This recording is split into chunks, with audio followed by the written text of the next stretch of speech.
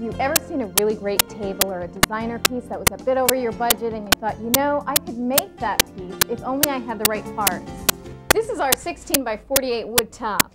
It's a birch veneer on the front and back, and it's got an MDF core, which stands for maximum density fiber, and it's actually stronger than normal piece of solid wood, especially for this size. The 16 by 48 is really long, so you want something that's really strong that can support a lot of weight. This, we're going to take this tabletop and turn it into an antique, uh, very elegant looking console table. It's a four-step process. It's a lot of fun too.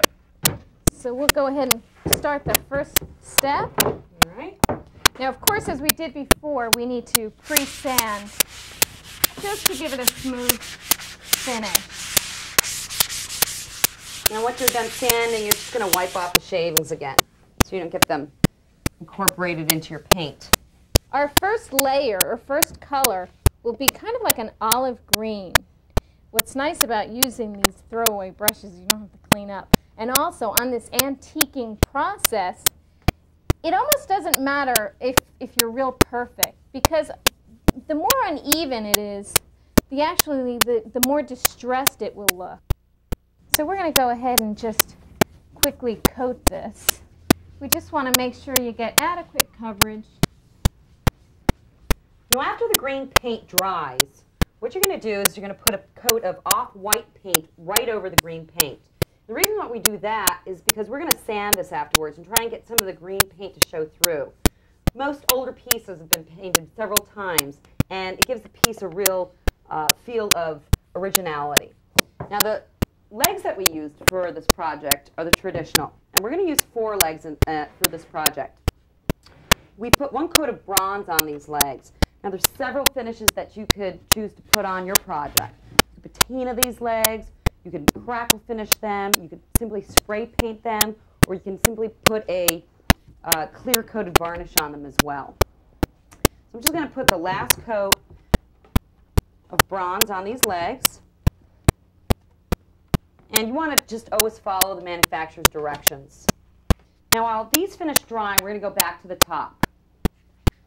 Okay, we've applied our layer of off-white paint. It's dried. So now what we're going to do is go ahead and sand, rough sand the edges and the surface. As we sand, the first layer kind of comes off a little as it lifts. The green shows through.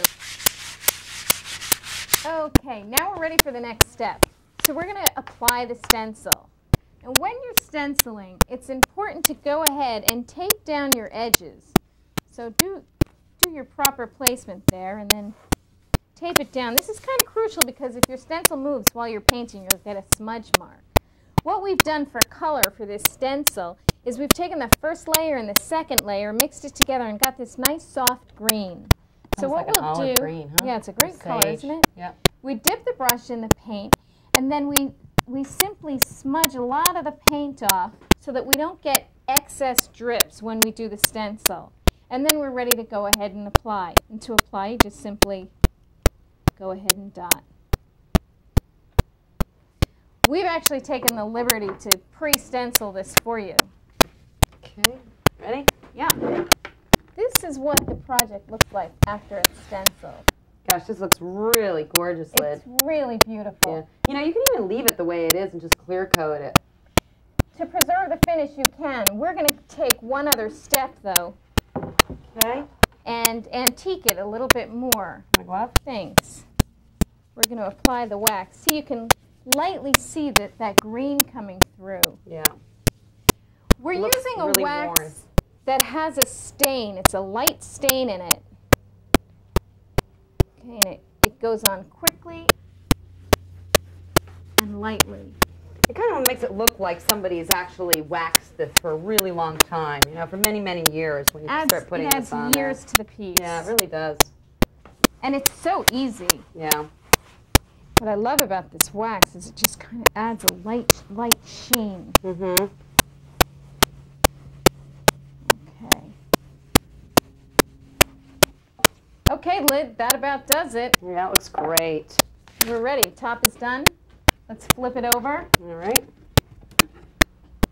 How fast do you think you get those legs on? I don't know. How fast do you think we can put those legs on? I on? don't know. Let's Okay, give it a shot. see.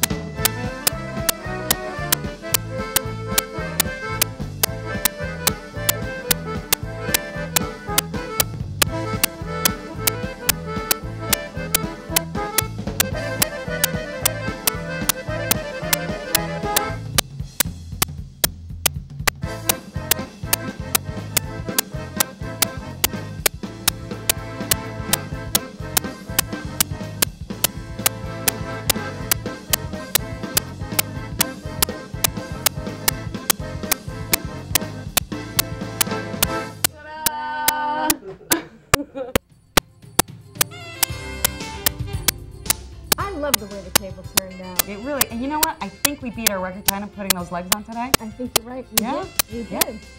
We've got these projects and many more at our website at www.maidensofiron.com.